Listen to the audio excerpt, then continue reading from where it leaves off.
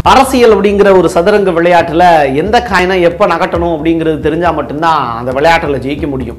நம்ம விளையாடுறது மட்டும் முக்கியம் இல்லை. எதிர்த்தாப்பில் விளையாடுறவங்களும் எப்படி விளையாடுறாங்கங்கிறது தெரிஞ்சுக்கிட்டா மட்டும்தான் அந்த விளையாட்டுல ஜெயிக்க முடியும்.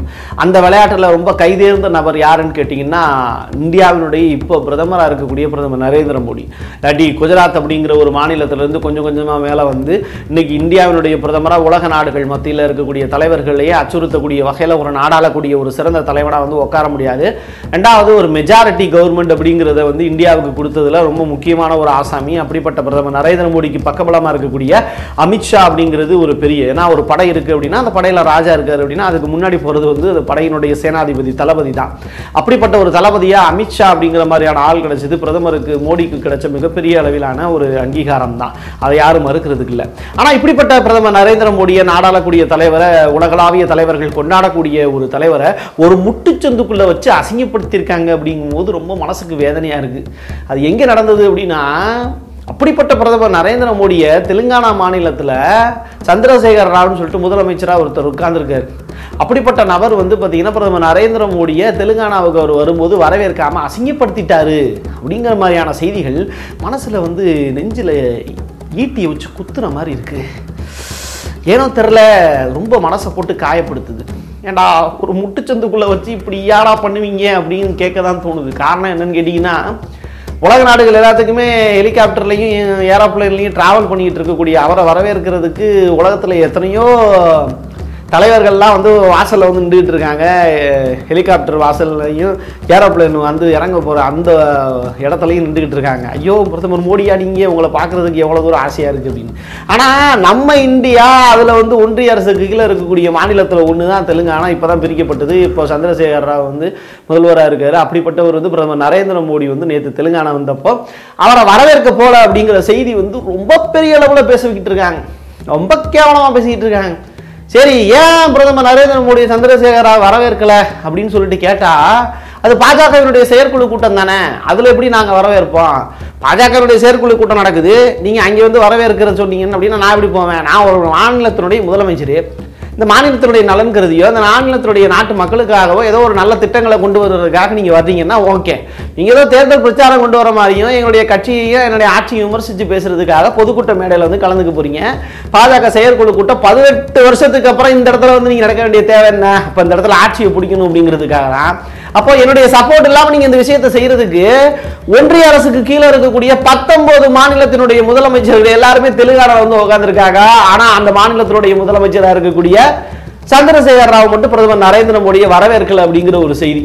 எவ்வளோ தலைக்கு எவ்வளோ தில்லு பத்தியா? அப்படின்னு சொல்லிட்டு வின்னர் படத்தில் வந்து வரக்கூடிய காமெடி மாதிரி தான் இருக்கு. ஸோ இப்படிப்பட்ட நிகழ்வுகள்லாம் தெலுங்கானாவில் நடந்திருக்கு. சரி பிரதமர் நரேந்திர மோடி அவர் வரவேற்கல அது கட்சி சார்ந்த அலுவலாக இருக்குது அதனால தான் வந்து இல்லை போல அப்படின்னு சொல்லிட்டு ஒரு விஷயத்தை மையப்படுத்துகிறாங்க தெலுங்கானாவில் இருக்கக்கூடிய அவருடைய சந்திரசேகராவ கட்சியினர் எல்லாருமே.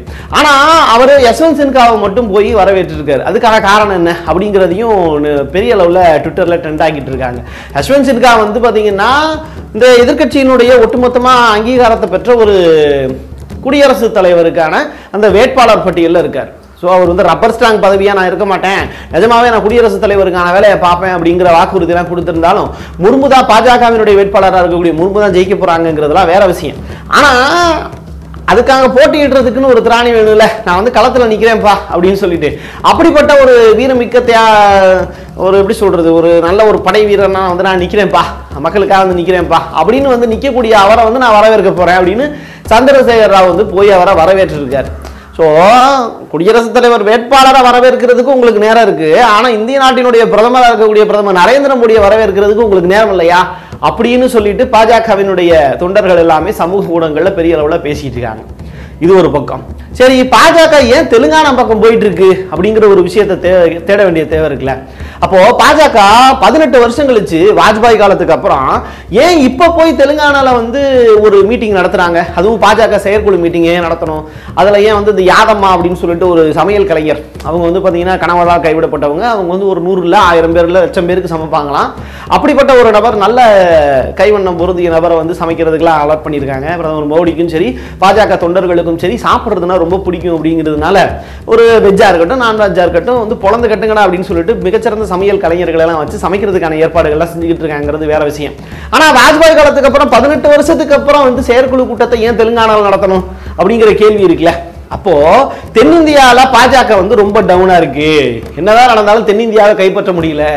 கர்நாடகாவில் பசவராஜ் பொம்மை மாதிரி ஒரு பொம்மை ஒரு பொம்மையை வச்சு ஆட்சி பண்ணுற மாதிரி அங்கே மத கலவரத்தை தூண்டி தமிழ்நாட்டு பக்கம் வந்து அண்ணாமலையை வச்சு மத கலவரத்தை தூண்டிடலாம் நினச்ச மாதிரி கர்நாடகாவில் மதமாற்ற தடை சட்டம்லாம் கொண்டு வந்தாங்க. ஆனால் தமிழ்நாட்டு பக்கம் கொண்டு வரதுக்கு முயற்சி பண்ணப்போ ஸ்டாலின் வந்து சமூக நீதி காக்கக்கூடிய ஒரே நாடு தமிழ்நாடு தாப்பா நீ போயிட்டு வா அப்படின்னு அனுப்பிச்சு விட்டாரு. ஸோ இப்படிப்பட்ட சூழ்நிலையில் தமிழ்நாட்டு பக்கம் வர முடியல. கேரளாவில் வந்து பார்த்தீங்கன்னா கம்யூனிஸ்டுகள் ஆட்சி. ஸோ அங்கே தங்க கடத்தல் சொப்பனா வச்சு ஆட்சி பண்ணி சொப்புனா அப்படின்னு நம்ம பல தடவை சொல்லியிருக்கோம். அப்படிப்பட்ட சொப்பனா வச்சு பெரிய லெவலில் வந்து அந்த இடத்துல தில்முள்ளு பண்ணி கேரளாவினுடைய ஆட்சியை கலைக்கிறதுக்கான வேலைகளையும் கம்யூனிஸ்டுகளை ஆட்டம் காணக்கூடிய வகையில் சில சில பல செயல்களையும் பாஜக செஞ்சுக்கிட்டு இருக்குங்கிறது வேற விஷயம். ஆனால் கேரளாவில் ஆட்சியெல்லாம் பிடிக்க முடியாது. தமிழ்நாட்டில் சுத்தமாக முடியாது.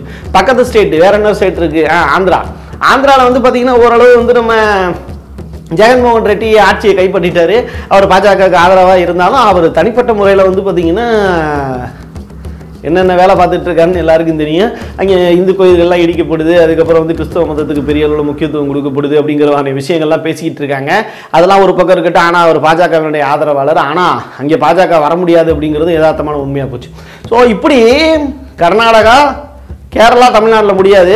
கர்நாடகாவில் மட்டும்தான் முடியுது. அதுக்கப்புறம் அந்த பக்கம் வந்து பார்த்தீங்கன்னா ஆந்திராவும் தெலுங்கானா ரெண்டும் ஒன்று சேர்ந்த மாநிலம். ஆனால் அது பிரிஞ்சிருச்சு. தெலுங்கானாவும் இருக்குது ஸோ தெலுங்கானாவில் நம்ம வந்து ஆட்சி பிடிக்கணும் அப்படின்னு சொல்லிட்டு பாஜக பெரிய அளவில் முயற்சி எடுக்குது. அதுக்கு வந்து பெரிய அளவில் வெற்றியும் வந்து பார்த்தீங்கன்னா ரெண்டாயிரத்தி இருபதில் கிடச்சிதுன்னு நினைக்கிறேன். ரெண்டாயிரத்தி பத்தொம்போது மக்களவைத் தேர்தலில் மொத்தம் பதினேழு தொகுதி. அதில் நாலு தொகுதி வந்து பாஜக வாங்கி அப்பாடா அப்படின்னு சொல்லிட்டு காலரெல்லாம் தூக்கி விட்டாங்க. அதுக்கப்புறம் ரெண்டாயிரத்தி இருபதுல வந்து துப்பாக்கா அப்படின்னு சொல்லிட்டு ஒரு தொகுதி. அந்த தொகுதியில் வந்து இடைத்தேர்தல் நடந்துச்சு. அதுலேயும் பாஜக ஜெயிச்சாங்க. அப்போ எப்படி சொல்றது? இந்த ஜெயிக்கிறவனுக்கு மேலும் மேலும் மேலும் மேலும் வெறியூட்டக்கூடிய வகையில் அந்த வெற்றி அப்படிங்கிற ஒரு கனி வந்து பெரிய அளவில் வரப்பிரசாதம் தான். அந்த வரப்பிரசாதமாக இருக்கக்கூடிய அந்த கனியை வச்சுக்கிட்டு சரி இதை வச்சு எப்படி அடுத்தடுத்த விஷயங்களை நகட்டலாம் அப்படின்னு யோசிச்சுக்கிட்டு இருந்தப்போ சந்திரசேகர் ராவ் வந்து தொடர்ந்து ஆளுநர் தமிழிசைக்கு எதிராக வந்து பெரிய அளவில் பிரச்சாரத்தில் ஈடுபட்டுக்கிட்டே இருந்தார்.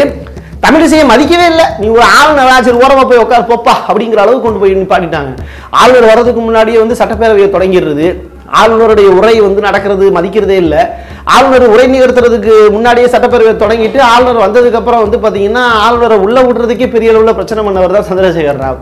ஸோ தமிழிசையை மதிக்கிறதே இல்லை. அதனால தான் தெலுங்கானாவில் வந்து பார்த்தீங்கன்னா ஒரு பொறுப்பாளுநர் இதெல்லாம் வந்து எங்களுக்கு வேண்டாப்பா அப்படின்னு சொல்லிட்டு தமிழிசை வந்து புதுச்சேரி பக்கமே போய் உக்காண்டாங்க தெலுங்கானாவில் என்னால் முடியல. நான் புதுச்சேரி பக்கம் பார்த்துக்கிறேன் அப்படின்னு அந்த பக்கமே உட்காண்டாங்க இப்படி ஆளுநரை மதிக்கிறது இல்லை. ஆளுநரையே மதிக்கல. அப்புறம் அந்த பக்கம் வந்து பார்த்தீங்கன்னா பிரதமர் நரேந்திர மோடி வரும்போது மூணாவது தடவை சந்திரசேகரா வந்து பிரதமர் நரேந்திர மோடியை வந்து வரவேற்க போகலை அப்படிங்கிற ஒரு விஷயம். ஸோ இந்த சந்திரசேகர் ராவ் தலைமையிலான ஆட்சியை ஏன் கலைக்கக்கூடாது அப்படின்னு பிரதமர் நரேந்திர மோடியும் அமித்ஷாவும் தென்னிந்தியாவில் முத முதல்ல நம்ம காலடி எடுத்து வைக்கிறோம்னா ரெண்டாயிரத்தி பத்தொன்பது தேர்தலில் நம்ம நாலு தொகுதி இருக்குது ரெண்டாயிரத்தி இருபது ஒரு இடைத்தேர்தலையே ஆளுங்கட்சிக்கு எதிராக நம்ம ஜெயிச்சிருக்கோம் அப்படிப்பட்ட சூழ்நிலை ஏன் தெலுங்கானாவில் தென்னிந்தியாவை கைப்பற்றணும் அப்படின்னா ஏன் தெலுங்கானாவை நம்ம மையமாக வச்சு செயல்படக்கூடாது அப்படின்னு சொல்லிட்டு பதினெட்டு வருஷத்துக்கு அப்புறம் பாஜகவினுடைய செயற்குழு கூட்டத்தை ரெண்டு நாள் பக்காவாக வந்து இங்கே வச்சு நடத்திடுவோம். தெலுங்கானாவில் வச்சு நடத்திடுவோம்னு சொல்லிட்டு ஏப்பா பண்ணி நடத்திட்டு இருக்காங்க. ஆனால் அதில் பெரிய அளவில் அவங்களுக்கு அவமானம் தான் மிச்சமே தவிர ஏன்னா ஒன்றிய அரசின் கீழே இருக்கக்கூடிய பத்தொன்பது மாநில முதலமைச்சர்கள்லாம் வந்து உட்காந்துருக்காங்க தமிழ்நாட்டிலேருந்து நம்ம அண்ணாமலையெல்லாம் போயிருக்காரு குஷ்பு போயிருக்காங்க. எல்லாருமே போயிருக்காங்கன்னு வச்சுக்கோங்களேன். பெரிய படையே திரண்டு இருக்கு. பெரிய அளவிலான பாதுகாப்பெல்லாம் கொடுத்துருக்காங்க. சந்திரசேகரா பாதுகாப்பெல்லாம் கொடுத்துருக்காரு. அந்த இந்த ரயில் நிலையமாகட்டும் பஸ் நிலையங்களாகட்டும் விமான நிலையங்களாகட்டும் எல்லாத்துலேயும் போடு பாதுகாப்பு போடு பக்காவாக பண்ணு. அதெல்லாம் பிரச்சனை இல்லை. ஆனால் உனக்கான அவமானத்தை வந்து நான் கொடுத்துட்டே தான் இருப்பேன் அப்படின்னு சொல்லக்கூடிய வகையில் பிரதமர் நரேந்திர மோடி அவர் பார்க்க போல அதுக்கு காரணம் வந்து பார்த்தீங்கன்னா பாஜகவினுடைய செயற்குழு கூட்டம் அதில் எங்களுக்கு என்ன வேலை அப்படிங்கிறத சொல்லி ஒதுங்கிட்டாங்க. ஆனால் இதை தமிழ்நாடு மட்டும் இல்லை தென்னிந்தியாவில் இருக்கக்கூடிய அரசியல் கட்சிகளும் நியூஸ் சேனல்ஸ் நேஷனல் மீடியாவும் இதை பெரிதுபடுத்தி பேசிக்கிட்டு இருக்கு. இப்படிப்பட்ட சூழ்நிலையில் பாஜகவினுடைய செயற்குழு கூட்டத்தில் இன்னைக்கு சாயந்தரம் வந்து பெரிய அளவில் பிரம்மாண்டமான ஒரு கூட்டம்லாம் நடத்த போகிறாங்களாம் அந்த கூட்டத்தில் என்ன மாதிரியான விஷயங்கள் எல்லாம் பிரதமர் இப்படி பேச போகிறாரு அப்படிங்கிறத எதிர்பார்ப்பு இருக்குது அதே நேரத்தில் சந்திரசேகரோடைய ஆட்சிக்கு முடிவு கட்டுவோம் அடுத்த வருஷம் அப்படிங்கிற மாதிரியான விஷயத்தை பெரிய அளவில் தன்னுடைய கட்சி தொண்டர்கள்ட்ட தொடர்ந்து பேசிக்கிட்டு தான் இருக்கிற அதுக்கு அமித்ஷாவினுடைய பெரிய அளவிலான பிளான் கை கொடுக்குமா அப்படிங்கிறத பொறுத்து பார்ப்போம். சந்திரசேகர் ராவ் வர்சஸ் நரேந்திர மோடி. அடுத்து என்ன பொறுத்திருந்து பார்க்கலாம். ஏன்னா என் கையெழுத்து என் மக்களுக்கானது. மீண்டும் நல்லதொரு அரசியல் பதிவில் சந்திக்கிறேன். நன்றி வணக்கம்.